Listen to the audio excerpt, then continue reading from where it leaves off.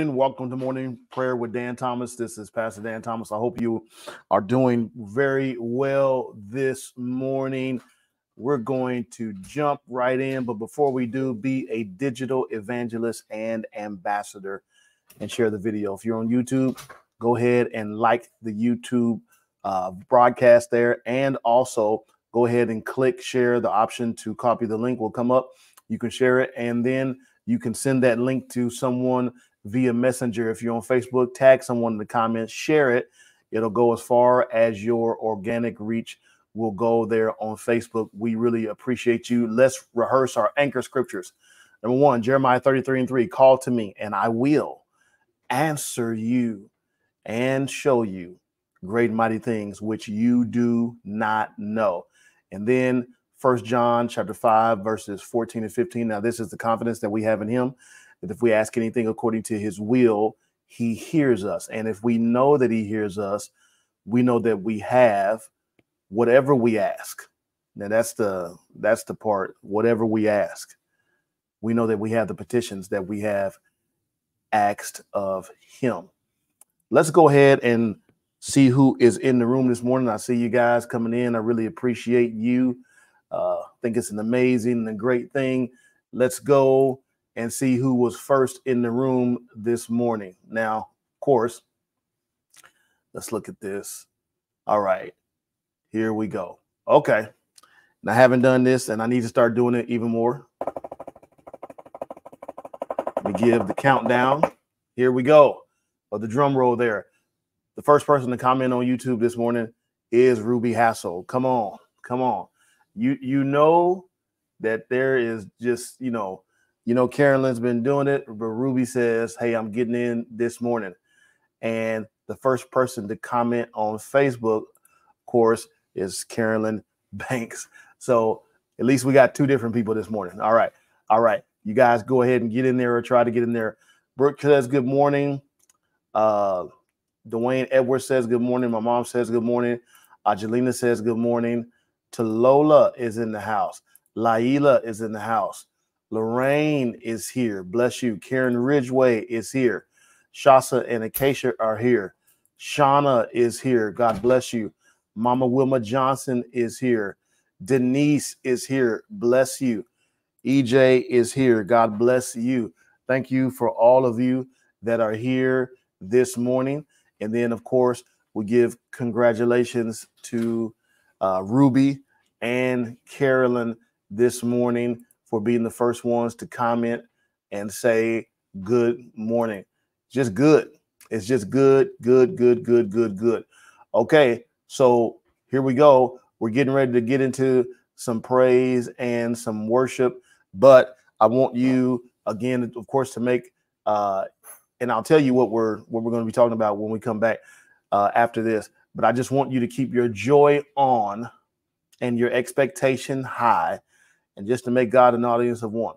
But keep your joy on and your expectation high because you it could happen any day.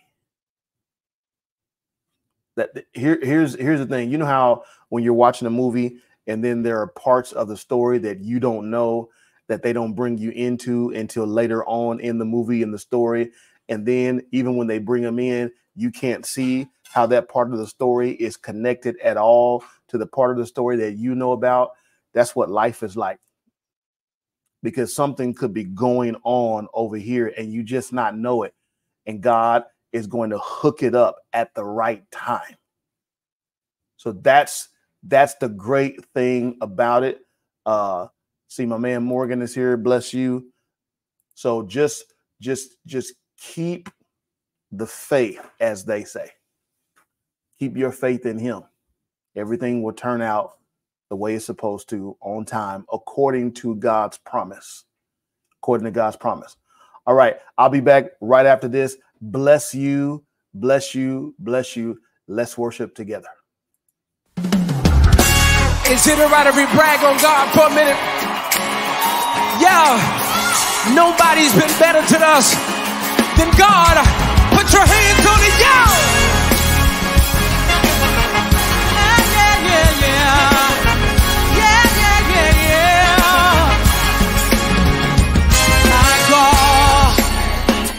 is big, so strong, so mighty.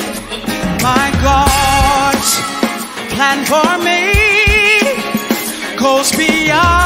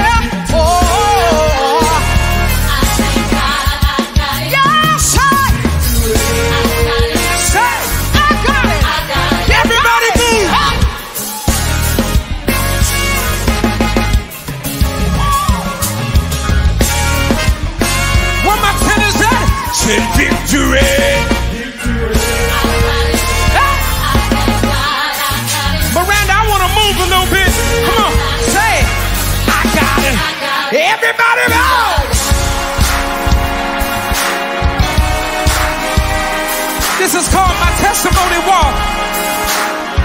Yeah. Everybody take a slow. Yeah. Miranda, when their haters come to bother him tomorrow, everybody move. Yeah. Yeah. Put your bees in the air. Said victory.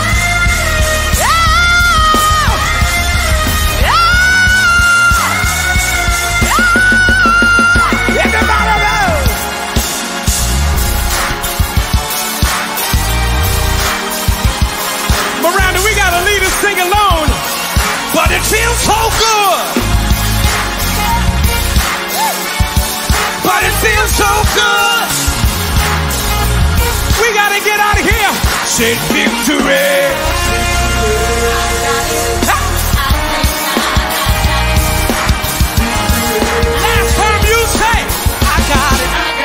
Got it. You got it.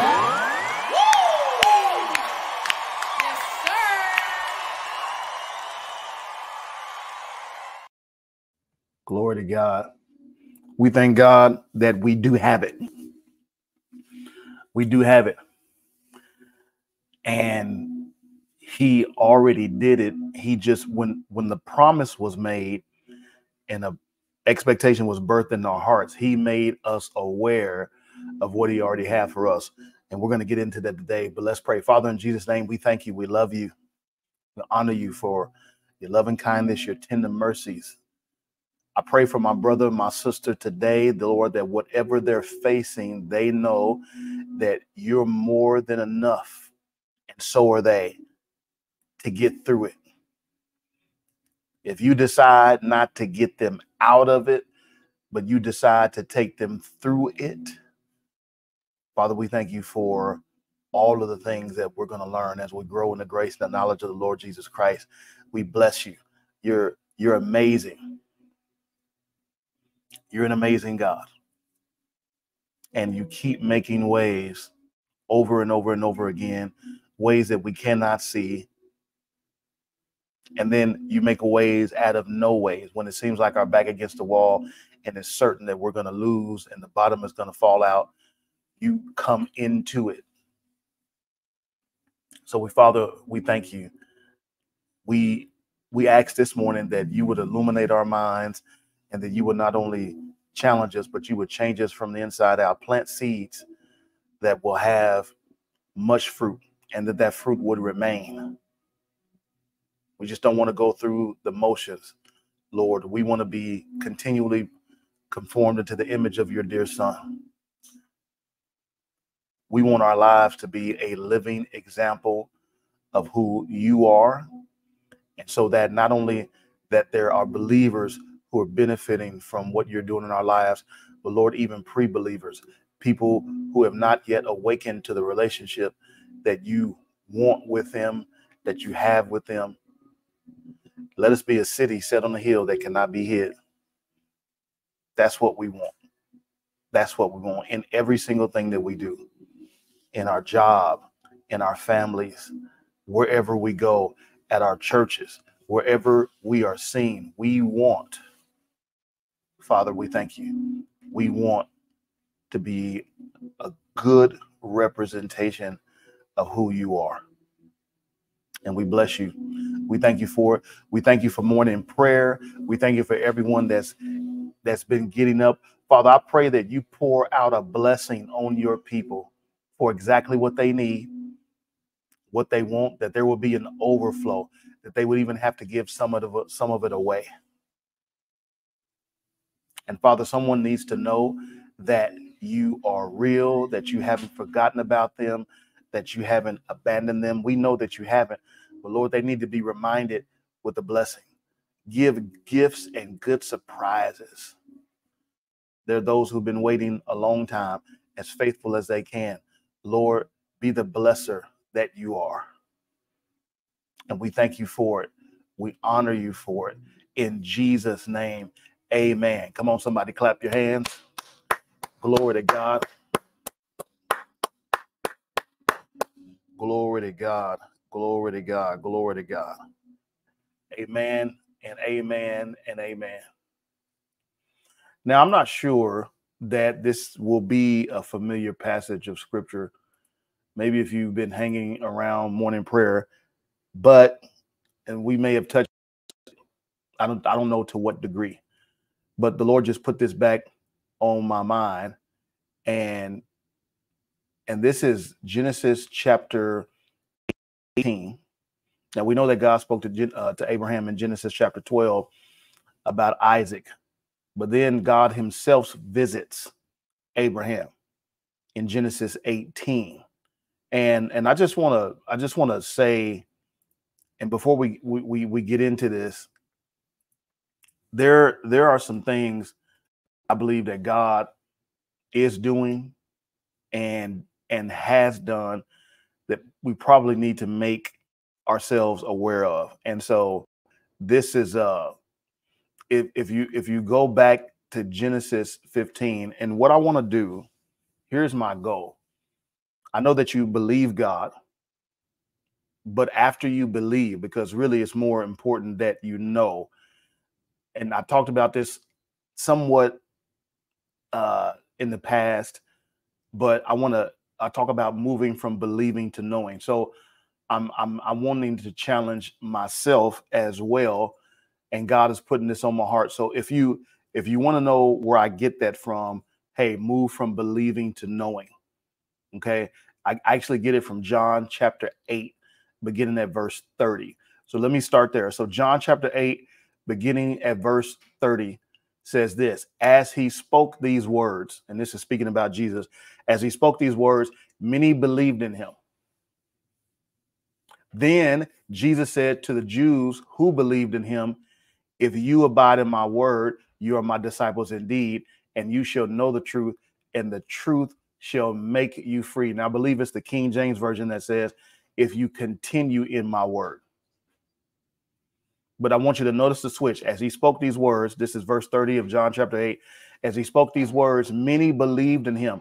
Then Jesus said to those Jews who believed in him, If you abide in my word, you are my disciples indeed, and you shall know the truth. See, they started out believing and then they went to knowing. You shall know the truth, and the truth shall make you free. Now let's let's reverse engineer this verse, if you will. And I want to show you some things before we get back into Genesis. He says, and you shall know the truth, and the truth shall make you free.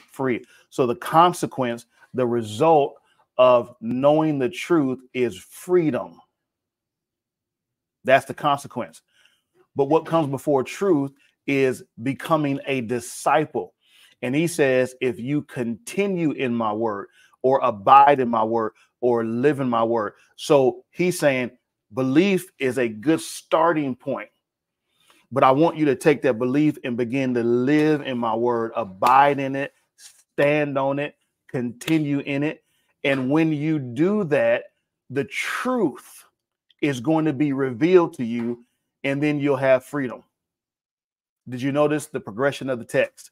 He says, if if you abide in my word, I'm glad you believed because he spoke to the Jews who, who had believed on him. Verse 30 says, as he spoke these words, many believed in him. And then he said to the Jews who believed in him, if you abide in my word, you are my disciples. Now, the word disciple means it's a lifelong learner of another.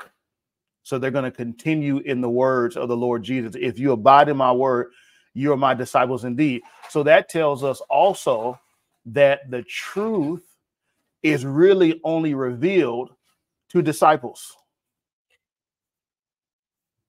Come on.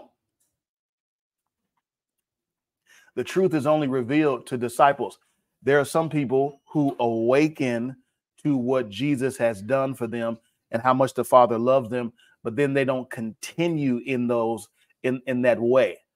They just say, "Okay, I got it," and then they go on. Now, that person may go to heaven, but truth is not revealed to them. And then there are places in their life where they still may have bondage. This is just real talk. This don't have nothing to do with grace, new covenant. You you you go do something and then you never get all the way into it, you're never going to get the benefits of it. And Jesus says, if you continue in my word, then you are my dis- my disciples indeed. You're not just a disciple just because you receive the life of the Lord Jesus. That's not what makes you a disciple. I'm following him. Sometimes we follow him, and this is not against anybody. I don't want anyone to take this the wrong way. It's just the truth. I'm just going to use a modern day analogy. Sometimes we're following Jesus like we follow people on Instagram. And when they say something we like, we click follow. When they say something we don't like, we click unfollow and we follow and unfollow. We follow and unfollow. Please understand this has nothing to do with salvation. This is about continuing. You're saved, and no one can come and unsave you but we're not always following, right? We're not always following Jesus. So we need to, so following Jesus, making the decision to follow him through everything that you go through is what causes you to be a disciple. You are a lifelong learner of another. Once that happens, truth is revealed to you, okay? And that truth makes you free. He whom the Son has set free is free indeed. Okay, so this is in, this is just important for for us to know because what I'm getting ready to say today about Abraham and Sarah and and and believing you want to li- live or move from believing to knowing. All right, and so I want to I want to teach and then I want to I want to speak some stuff over your life. So we were in Genesis 18. But let's just go back to Genesis 15. Okay. Let's let's go back. Let's go back to Genesis 15. And and this is and I I, I really believe God wants you to know who he is and for you to know who he is in you. Like that that's it's just it's just it's such a big deal. Now this is identity talk, of course. This is all identity talk. But let's look at Genesis 15 and 5. It says, Then the Lord took Abram, this is before he changed his name to Abraham, and said to him, Look up into the sky and count the stars if you can. That's how many descendants you will have. Now, God was getting a little humorous there because he's trying to get Abraham to understand the enormity of the blessing on his life and the promise. Now remember this: God doesn't waste words. God God doesn't waste words. If God spoke to you or he used someone to spoke speak to you and he gave you a vision, he gave you a dream, it's something that he wants you to hold on to. He wants you to continue in that word. He wants you to stand on that promise. And so if at all uh, I want to be able to stretch you today because sometimes what happens is that we give up on the promise, we stop declaring, we stop we stop listening to like if we recorded it we stop listening to the prophecy. This happens to everybody. There's no condemnation but i want to tell you that me going away from the prophecy me not declaring the prophecy me not letting it uh letting it be repetitive in my life has nothing to do with the strength of the prophecy. God still said what he said. God still has this promise over your life and we need to learn how to begin to walk in it. So this is why i'm saying this. This is this is why i'm bringing this up. Watch this and this is Genesis chapter 15. And he says, Then the Lord took Abram outside and said to him, Look up into the sky and count the stars if you can. That's how many descendants you will have. Now, let me relate this to you. Abraham was in his tent, and you you will find this if you read this verse, uh, Genesis 15 to 5. If you read it from the amplified version, you will find out that Abraham was in his tent. Now, his tent is an enclosed place, and all he can see is that place he, he can't see anything. He's got this promise of God over his life that God spoke to him in Genesis chapter 12 and says that your descendants are going to be like the stars of the heaven, the sands of the sea. He he can't receive that in that cold, that that closed place. So in the amplified version, it gives us to know what these words mean. If God said, "Come out a little further from the tent." Now, many of you are experiencing some things in your life, and you're like, "What is going on?" This has been going on a long time. This situation is difficult, it's challenging. I didn't expect this. What is going on? Is God calling you out from that enclosed place because he can't talk to you the way he wants to talk to you in that enclosed place because he literally wants you to see something different than what you are. I I, saw something that well, it, it was a couple years ago, but this is coming to my mind right now. There was a gentleman who he says if you're looking for a house, and I got to get back to this. He said if you're looking for a house, if you're looking for a better apartment or a better living space, he said make sure that before you close your eyes, even if you're looking at a picture or you go out and you drive around, make sure that the last thing that you really see that you burn into your mind is what you want and not the little place that you're in. Be grateful for the place that you're in, show gratitude for the place that you're in, be thankful for the place that you're in, but get another image on your mind so that when you go to sleep that you know that greater is coming and you're telling your subconscious mind, I won't be here for long. I'm thankful I got a roof over my head. I am not dissing this thing at all, but listen, I won't be here okay so so you got to get a different image in your mind. You got to burn a different image in your mind. And God was not content with allowing Abraham to stay in this place. And so th- literally says he took him outside and then he says, Look up into the sky and count the stars if you can. Now, you know you can't count the stars. Counting the stars is an exercise in futility. God knows you can't count the stars. There's so many of them that if you try to do it, then you you figure out pretty quickly that you lost your starting place. And this is what God is trying to do. He, he's saying, I'm going to now listen to this. This is this is just good stuff. I'm going to bless you so good you won't know where the beginning or the ending is. That's this is what God is saying this morning.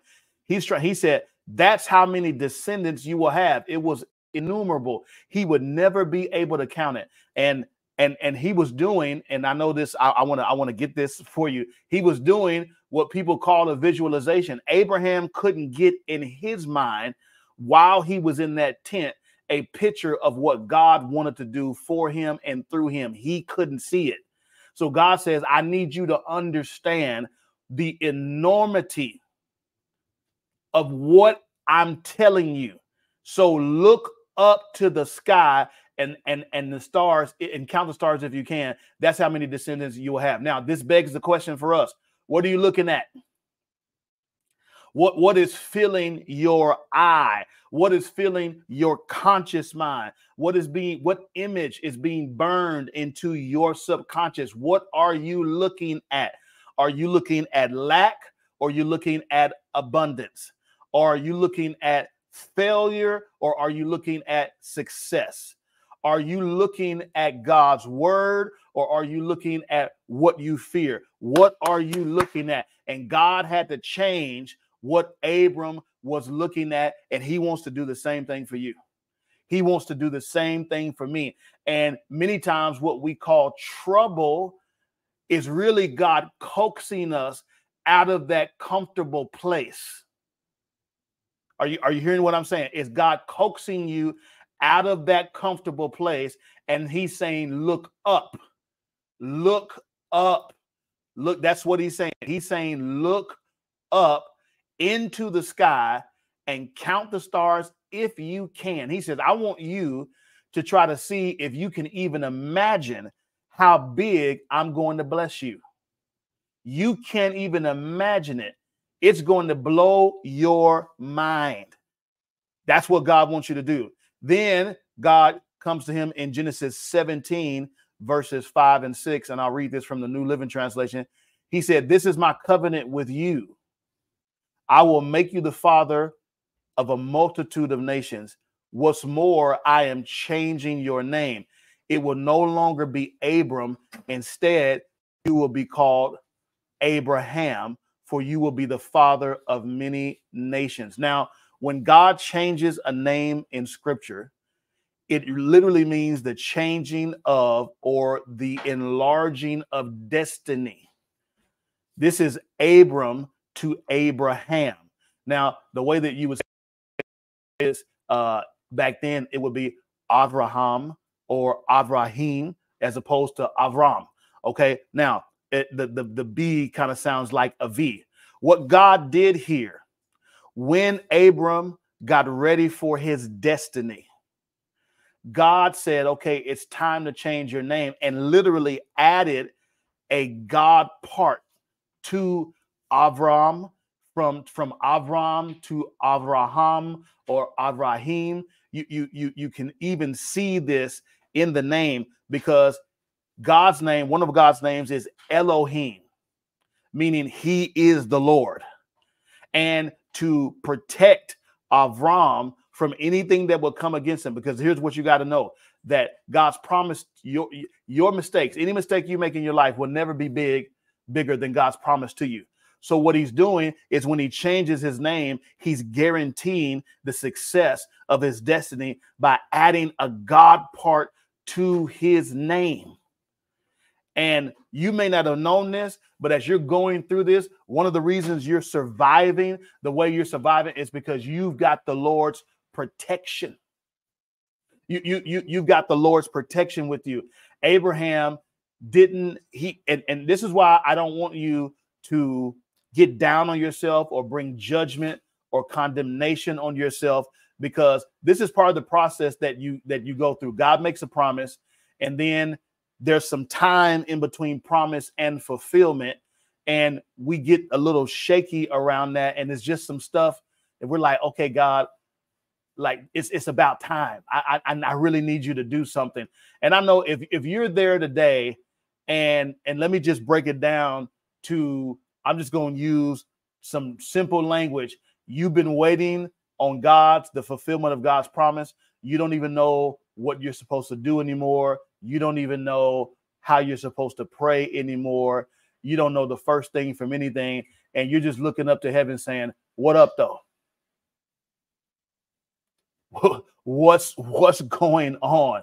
God, I need you to move in ways that will just blow my mind. If you're there, give me a hand raised emoji right now. Just give me a hand raised emoji. You're you're you're you're, you're holding on and and you're saying, Lord, thank you, thank you, I bless you, I love you, all those great things. But what up though? Come on, come on. We we need this blessing, and and and there and there's there's no there's no shame in that. Let's, let's go ahead and get it out now. Come on. Lord, you said this, and I don't even know what else to do. Okay. Now, now, with that said, I want you to to to listen to the scripture again because he comes to Abram again, and what he does is he reiterates his promise. Okay, he he, he reiterates his promise, and he said, "This is my covenant with you." Now, now I want to I want to break this down. When God makes a covenant, He doesn't break it. He will always be faithful to His part of the covenant. He said, This is my covenant with you. I'm going to make you a father of a multitude of nations. I'm changing your name. It will no longer be Avram. Instead, you will be called Avraham, for you will be the father of many nations. Now, this is God making a promise. And as I said, even before we went into uh, the worship this morning, that there are other parts of your story that God has not made you privy to, just like you, just like when you're watching a movie. A, a good director, a good writer only brings you in to the other parts of the story that seem disconnected or you don't know about when it's the right time so that you can begin to see the fullness of the story. That's just like your life right now. That's just like my life right now. God is doing more behind your back than he is in front of your face. There's some things that you don't know. Watch this because it's not time for you to know. There's some people you haven't met because it's not time for you to meet them. There are some things that have not happened that you can be made privy to because it's not time for them to happen. And I know that that's a crazy space to be in. And I know that that sounds trivial. And I know that for many of you, that sounds cliche, but it's just truth. It is what it is. There are things that are going on that God has not revealed yet because in your life, you have not reached what the scriptures call the fullness of time. And and and and maybe God, what he's waiting on is he wants you to see the awesomeness of what things that he wants to do for you. All maybe he just wants to get you back to awe and wonder because Abram was having trouble visualizing this and keeping that image strong in his spirit. Now, I know that visualize is a trigger word for people because they attach that word to new age stuff. God gave Abram here a visualization. He did.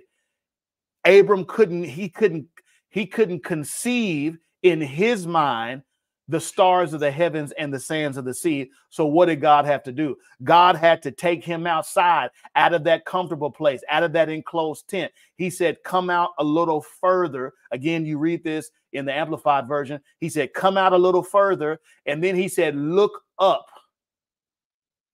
In other words, and it's not just about looking up, it's about looking at the right thing. Look at the right thing. What are you looking at? Are you looking at something that's smaller than what God told you? Or are you looking at God's promise? You're looking at what he said. I know we get tired sometimes of rehearsing it. I don't want to listen to the prophecy. I don't want to look at that video. I don't want to listen at that audio. Listen, you better listen to it.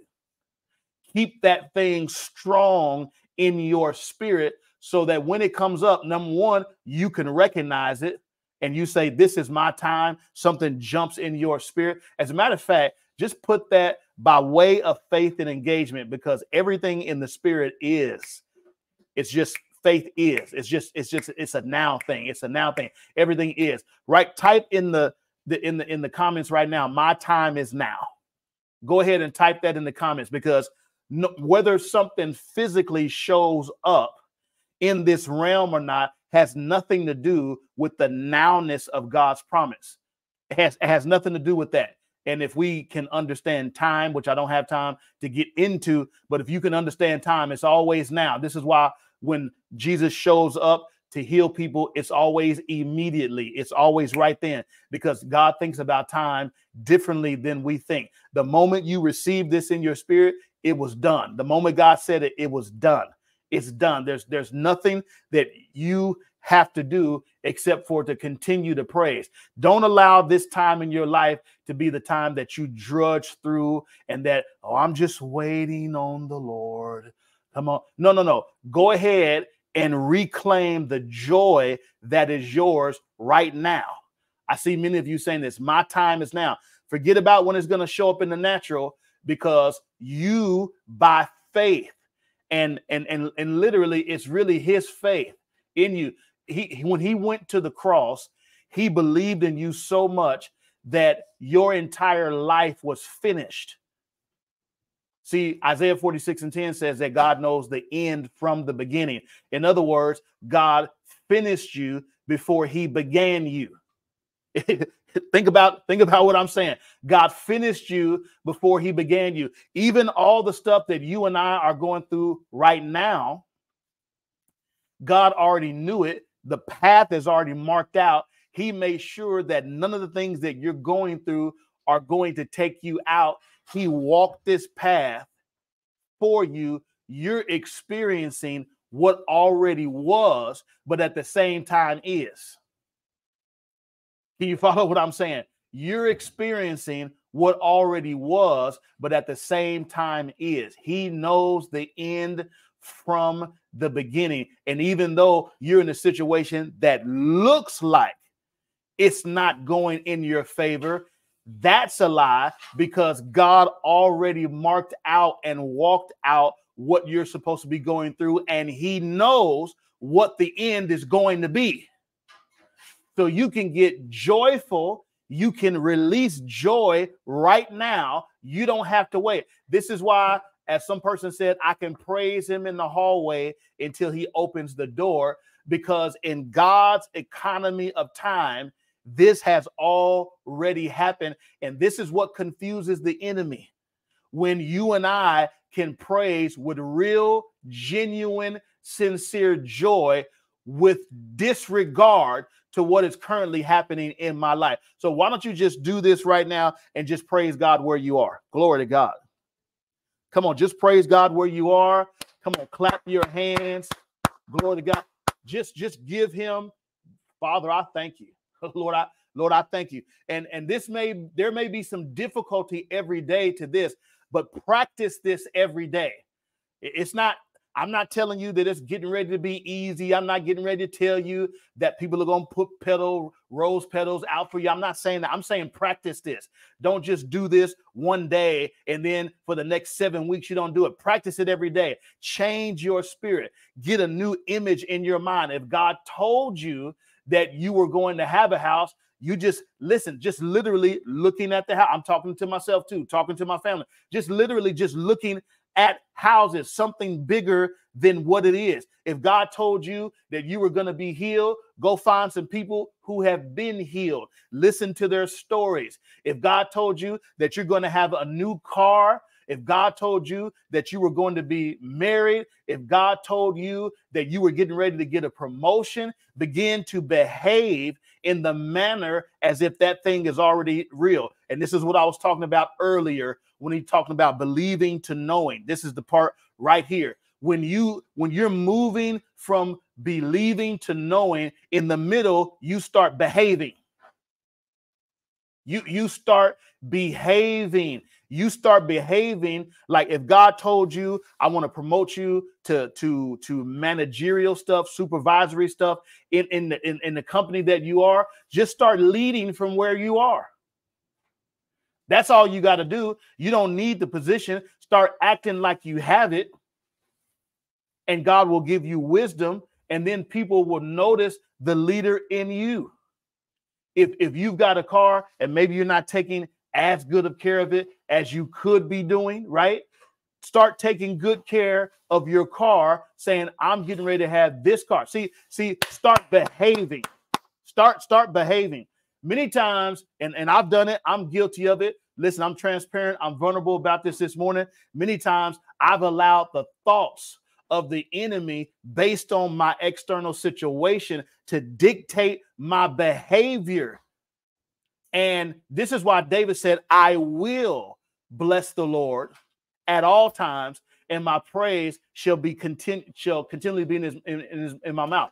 His his praise shall continually be in my mouth. Why is he saying that? It's it's a it's an act of his will. It's it's an act of his will. And right now, you we may be looking for a feeling, but sometimes it has to be an act of your will. I will bless the Lord at all times, and his praise shall continually be in my mouth. You're not going to shake me. You're not going to break me. I'm not going to give up. I'm not. I'm sorry. It's my time, and I'm not going to miss my time. And I'm not falling uh, into the. Uh, I'm not. I'm, I'm not falling into th- those types of things again. I'm going to behave the right way.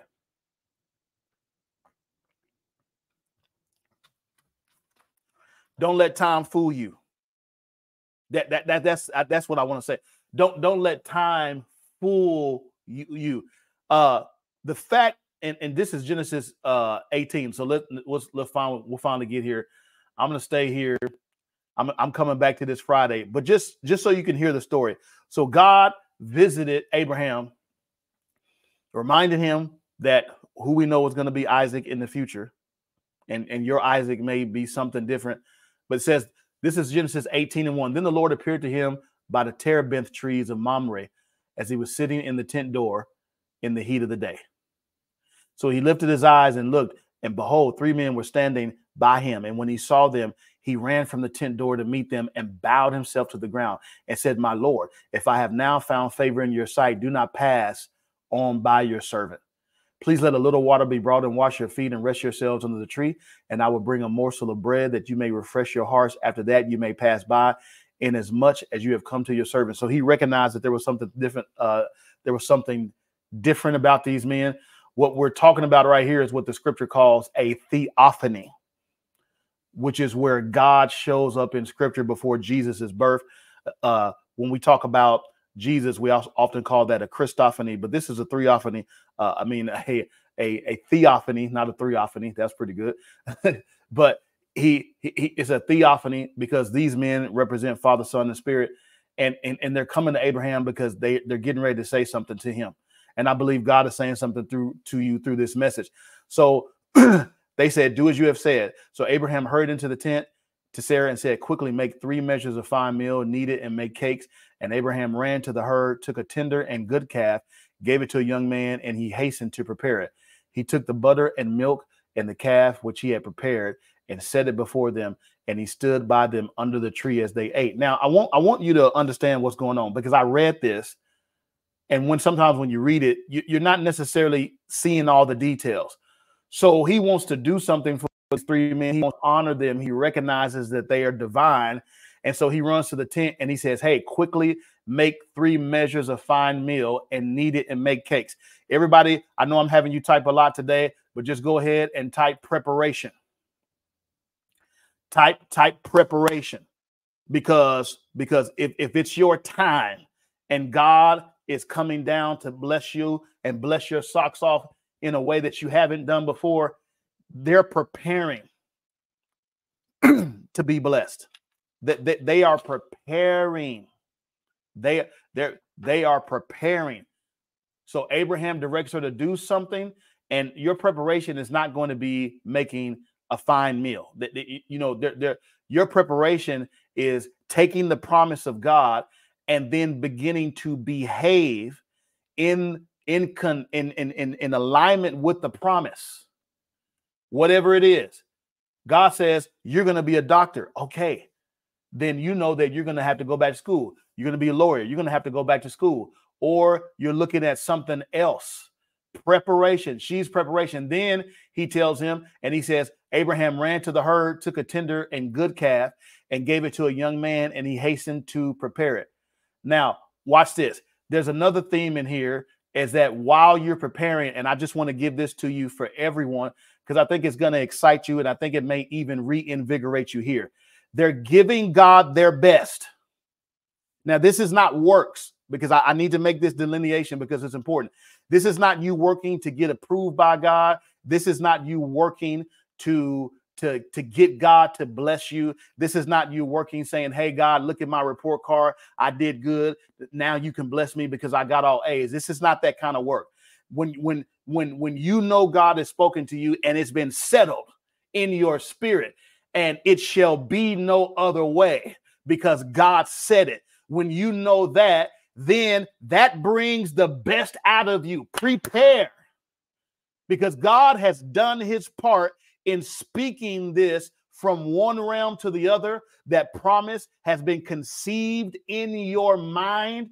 So now you've been impregnated with the promise of God. That promise is already there. The power and everything that you need to, to bring that to pass is going to be there. So start preparing. God will get behind your preparation. You see, if God said this to me, then there are some things that only God can do. And then there are some things that only I can do. And my part is preparation. My, my part is preparation. And and also watch this. There's the element of sacrifice in this because I'm saying thank you, Lord. And I'm taking the necessary steps to go towards what God called me to do, who God called me to be. Is that is that making any, any sense to anybody? So so when you start preparing, heaven now has an obligation to put all of its resources behind you because you're moving and God is moving behind you. Oftentimes, we believe that we're waiting on God. God's promised me something. Lord, I'm waiting on you. And then God is saying, No, I'm waiting on you to activate the promise that I gave you in the earth. And then I'm following you. I'm following you because you're doing this thing and you've believed on my word. You've mixed it with faith and you start behaving what you believe. And when you start behaving what you believe, then you move from believing to knowing. And there are little things that God does along the way to increase your faith. So he he he he, he says this to them. Then it says in verse 8, he took butter and milk and the calf which he had prepared and set it before them and stood by them under the tree as they ate. Now, then they then he said to him, Now here's the thing. Now here's the reason why they came. Here's the here, here's the reason why they came. And, and I want I want you to know that also we talked about preparation, we talked about sacrifice, but I just saw another element here, and it's really worship. It's really you bringing something to the Lord and Him delighting in something that you have prepared for Him. Listen to verse 8. So he took butter and milk and the calf which he had prepared and set it before them, and he stood by them under the tree as they ate. This is this is this is a picture of you worshiping God and God delighting in worship as if he's eating. You know, he, he's he's delighting in your worship. Listen, practice the presence of God in prayer. Just sitting, just sit in his presence. Say whatever you got to say at the beginning, get that out, and then sit in his presence. Because he's going to talk to you and he is going to instruct you and he is going to give you strategy. That's what he's going to do. This, what Abram was doing was worship, preparation, sacrifice, worship. Glory to God. Glory to God. If this is helping you at all, I want you to just give me, I'm, I'm, I'm engaging you this morning. Give me the hand clapping emoji if you needed this this morning. Come on. I, I, this, this is, this is a right on. Matter of fact, don't give me the hand clapping emoji. Just type right on. If this is the right time message for you, just say right on. God started dealing uh, with uh, it was it was through a song uh, yesterday uh, that I was listening to, and a song that we're rehearsing for Sunday, and the Lord just started speaking to me because I didn't know before then because we just finished the series on comparing and contrasting the old and the new covenant. But yeah, amen, amen. So so again, the the the thing is, don't leave here just believing today. Leave here behaving. Think about what's the one thing that you can do that will be in the area of behaving today. Get it in your mind right now that you're going to do it. Whatever it is, whatever it is. If it's a conversation you need to have, if it's a book you need to read, if it's a training that you need to finish, whatever it is. Eh, listen, listen, think about the one thing that you need to do and put that on your to do list every day. This one thing in the name of the Lord Jesus. Don't let the enemy try to diminish any accomplishment that you have, any forward movement that you have. All forward movement is good movement. Now, let's look at verse 9. Here's now here's he, that, that he, he's preparing, he's sacrificed, he's worshiped. Now God is going to get to the business of what he called him to do. And he says, Okay, I know I spoke to you in Genesis 12. I know I spoke to you in Genesis 15. I spoke again in Genesis 17. Now we're in 18. And I just need to, I, because this thing is getting ready to happen. And this thing happens in stages. Oh, thank you, Holy Spirit. See, we're like, and, and I, I told you I'm like this. I'm like, Lord, what up though? Come on, you said this. Like, you know, sometimes you get to the point, another stage you know, another thing that I got to go through. Lord Jesus, come on. Come on, hurry up. Everybody's getting blessed around me. I know some of you feel like that. I'm watching everybody increase, move forward, advance in their life. And, and sometimes I, I like I get on, I know I get on their nerves because I'm subconsciously and listen, this and it's gonna take a lot of maturity to admit this. I'm subconsciously because they're being blessed so much or they've got discipline in their life. I'm trying to pull them down to where I am because the reality is is that I'm a little miserable about where I am in my life right now. Lord, deliver me from that too. I want to see my friends win. I want to see other people win. I want to see other people move forward. But Lord, you I I need you to do it for me too. Okay? I, I need you to do it for me too. Now watch this.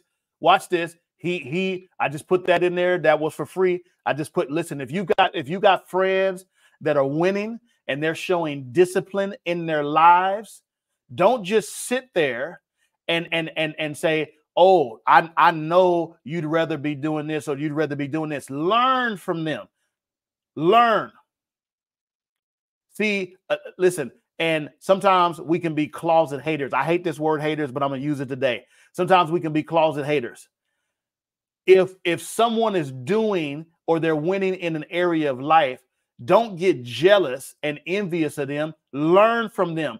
God put them in your life so you could get out of what you're in. He's using them as an example for you to win too, for you to have some success too. If you've got a friend that's winning, let me give you so so this thing can get up off of you today. Let call them and tell them you're winning in this area of your life and it's helping me. It's giving me inspiration. It's giving me invigoration. Thank you for winning. Thank you for being disciplined. Thank you for showing me and shining light on my way. You ought to do that today. It'll make you feel better. Glory to God. It'll make you feel better. Trust me. Congratulate your friends on them winning. Now, watch this. Verse 9, he said to him, then, or it says, then they said to him, because the whole Trinity is here, Where is Sarah, your wife? Now, God already knows that He's promised Abraham this. He said, Where's your wife? He said, Here in the tent. Whenever God starts questioning, you know something big is getting ready to happen because He don't have to question anybody. He already knows the answer. And He said, I will certainly return to you according to the time of life. And behold, Sarah, your wife, shall have a son. Now, there's something in this, in this whole statement that God makes. He says, and certainly, and he said, certainly I will return to you according to the time of life. And behold, Sarah, your wife, shall have a son. Now I'm getting ready to reveal this, but this question that God is is is you is is power packed. It's it's power packed, and I'm just going to read this in the in the Passion Translation. It's it's it's so. This is verse ten of chapter 18 of Genesis. Now, in the Passion Translation, and hopefully it doesn't give it all away, it says, Then one spoke up and said, I will return about this time next year when your wife Sarah will certainly have a son. And then Sarah overheard it, for uh, for she was at the tent door, not far behind him. Okay. Now I just didn't read that part of the verse, but listen, here's here's what it is. He says, I will certainly return to you according to the time of life. That's nine months. I want I want you to get this because this is gonna this is gonna help help somebody. Abraham and Sarah had been trying to have a son between them, trying and trying, doing everything, and you know what this means everything humanly possible for them, and it hasn't worked to the point that you know the story that Abram went on to Hagar and they had a son, Ishmael, blessed son, not the promised son. And there's a difference between having God's blessing and having God's promise. And that's a whole other conversation because we would have to get into the branch that came from Ishmael, which eventually became Islam. And then the other branch of the promised son of Jesus. We'll get into the historicity of that at some point. But I just want you to know that they were tired. And God says, according to the time of life, which meant nine months he, said, This thing is going to happen according to the time of life. Behold, Sarah, your wife, shall have a son. Now, this meant a few things. It meant nine months, but it also meant that Abraham, out of his loins, there would be perpetuity in the earth, meaning that his lineage, his name would not die when he died. And now we're talking about legacy because God is just not trying to bless you, He's blessing you generationally. God just doesn't think individual. God is thinking of something lasting. He's thinking of something longing. He, he he's thinking individual. I mean, generationally. He wants to. I, I want you to begin to get in your mind the things that God wants to do, not only for you. Watch this, but the things that God wants to do through you. He wants to do some things through you. And this is what he's telling Abraham. And this is what he's explaining.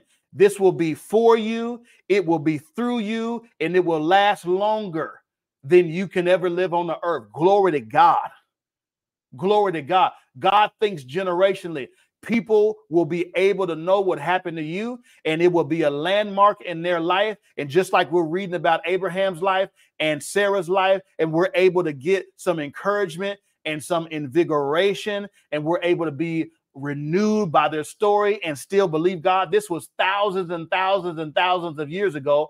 And look how this is still sustaining us. Look at how this is still blessing us. Look at look and see how this is still strengthening us thousands of years later. God says, I want to do the same thing with you that when people, your descendants, when they look at your story and they're going to say, My God, Ebony, listen, you remember what God did with Grandma Ebony? You remember what he did with Grandma Ruby? You remember what he did with Grandpa Willie, Grandpa Morgan? He, he he's saying, I'm going to make this so big that for generations to come, not just listen, you've got enough stuff in your own life that you can grab faith for, but people are going to be blessed and be able to believe in God because of what God not only does for you, but does through you. Somebody type in the comments, it's bigger than me.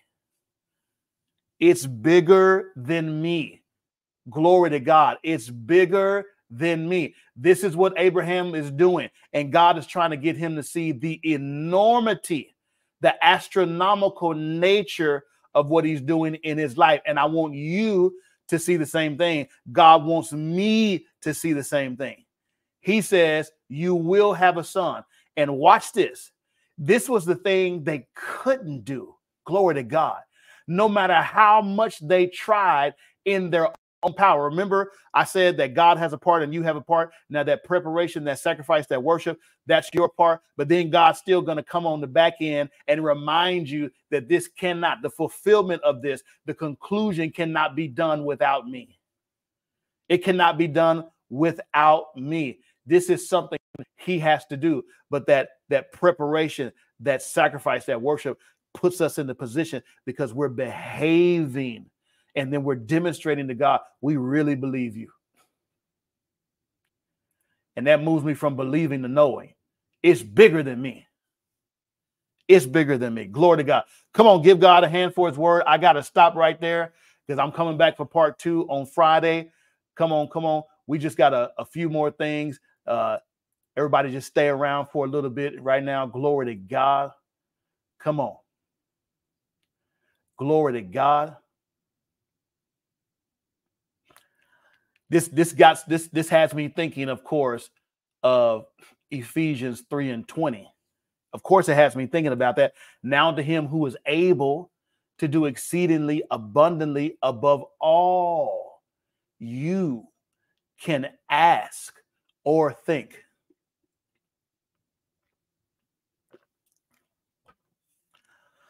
I wrote a song about this um, about a year and a half or so ago and uh and I'm just you know the the I need uh you know some verses to go with this song, but I just it was based on Ephesians three and twenty, and uh I'm just gonna let you hear it there.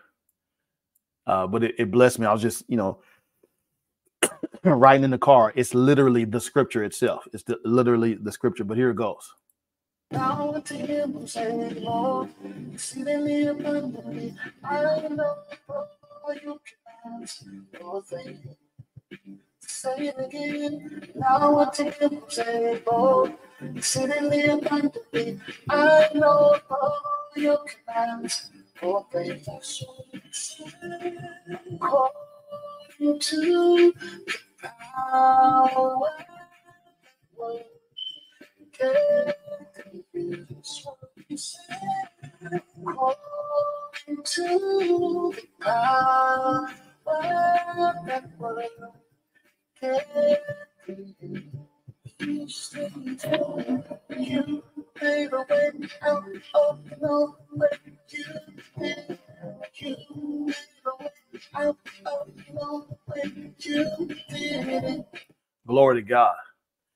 And that's what I'm keeping on my mind. That's what I'm keeping on my mind. Glory to God. Hallelujah. Amen. Come on, give God another hand for his work. Woo! Holy Spirit is pouring out. He's pouring out. He's pouring out. He's pouring out. Listen, if you are in the Oklahoma City area this Thursday, tomorrow, please get if, if you've never been to gospel chat move some stuff around. There there i'm telling there there is stuff that goes on. God speaks. It's really a special time. It's really a special time. Uh, we've got refreshments there and everything. And of course you know it's absolutely free.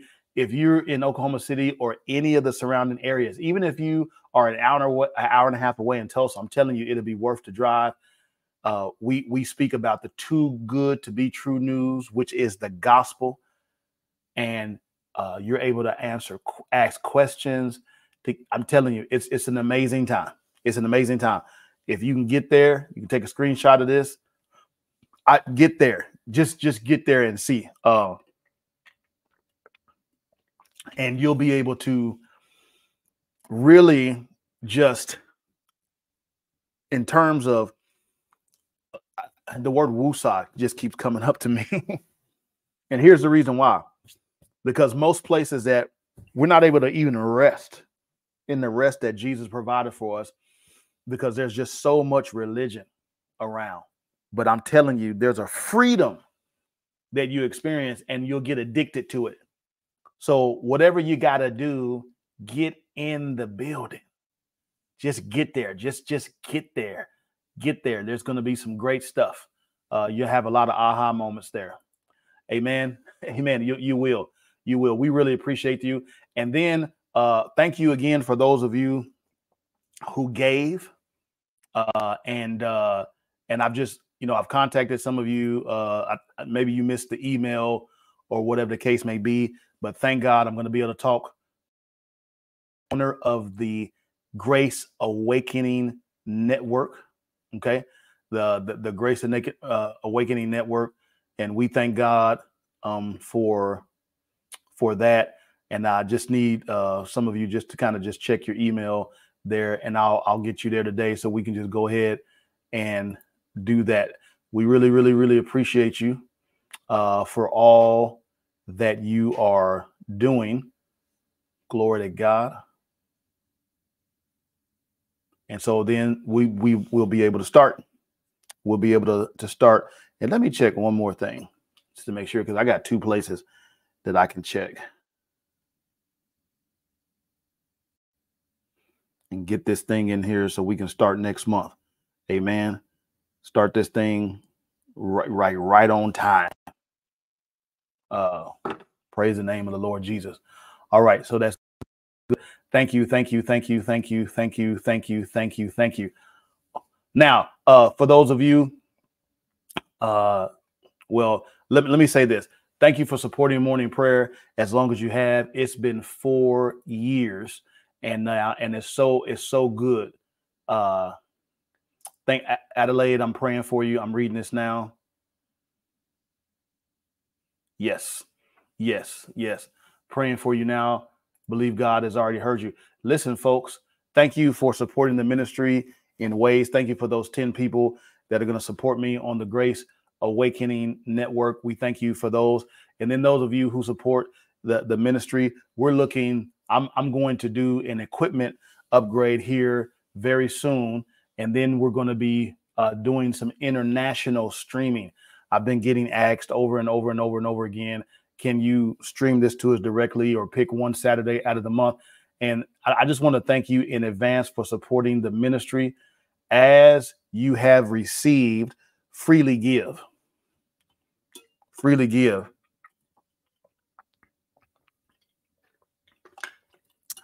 And be a generous supporter of the ministry. This is a chance for you to partner and uh, I'm going to even be making this more official. I've got my Patreon folks, uh, but even for morning prayer, I'm going to be making this more uh, official uh, in terms of you partnering with the ministry. But this is just free will giving. If you've been blessed at all, if you were blessed at all today The scripture talks about if you've received something, this is in Galatians 6, if you've received something naturally, go ahead and receive it spiritually. Or, or uh, I mean, if you receive something spiritually, I turn that around, then render something natural to the person. The scripture says, muzzle not the ox that treads out the corn. Now, you that's old King James. Or if someone is plowing the field for you and they're the ones that are doing this so that you can eat, make sure that they eat while they work. All right. So just thank God for for for that. And if and if you're looking uh uh if you're looking for uh you know just go to First Corinthians chapter 9. You can find that. Uh I try to be as scriptural as possible. But just so you know, just I'll, I'll read this in the easiest version. People like, well, you know, why do you you need money? And and and here's I, I like to talk kingdom. I don't like to talk anything else. Paul said this to the Corinthian church. He says, Am I not as free as anyone else? Am I not an apostle?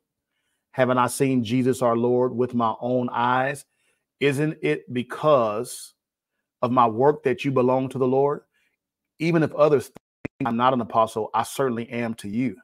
You yourselves are proof that I'm the Lord's apostle. This is my answer to those who question my authority. Don't we have the right to live in your homes and share your meals? Don't we have the right to bring a believing wife with us as other apostles and the Lord's brothers do and as Peter does? Or is it only Barnabas and I who have to work to support ourselves? What soldier has to pay his own expenses? What farmer plants a vineyard and doesn't have the right to eat some of its fruit? What shepherd cares for a flock of sheep and isn't allowed to drink some of the milk? Am I expressing merely a human opinion or does the law say the same thing? For the law of Moses says, You must not muzzle, muzzle an ox to keep it from eating as it treads out the grain. Was God only thinking about oxen when he said this? Wasn't he actually speaking to us? Yes, it was written for us so that one who plows and the one who threshes the grain might both expect a share of the harvest. Since we have planted spiritual seed among you, aren't we entitled entitled to a harvest of physical food and drink? If you support others who preach to you, shouldn't we have an even greater right to be supported? But we have never abused or used this right. And so Paul Paul explains that it's just some great stuff. It's just it's just great stuff. And when I read this as a person who was serving under someone else, it blew my mind. It it blew my mind. So thank you for your gifts and know that you are not participating in something where somebody's going to go do some crazy stuff. You're you're good ground. This is good ground. And I believe you're good ground. So when I'm coming up here every Monday, Wednesday, and Friday, I'm I'm giving every single thing that I have to you because God wants you to have it. And I believe he's called me to you. And so then so then your response may not be every week. Your response then is to give unto the kingdom of God through a person who has been called by God. I hope that makes sense. Amen. That makes sense. Okay. All right. So again, gospel chat. And then some of you uh, won't be getting emails today. We'll be getting a call because I want to make sure that uh, we get going on this next month uh, by the by the 15th or the at least by the 15th of next month.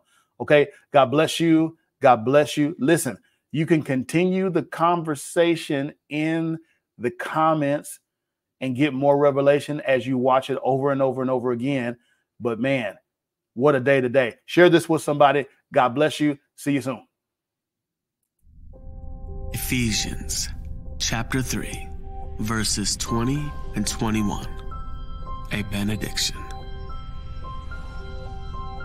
Now to him who is able to do immeasurably more than all we ask or imagine, according to his power at work within us. To him be glory in the church and in Christ Jesus throughout all generations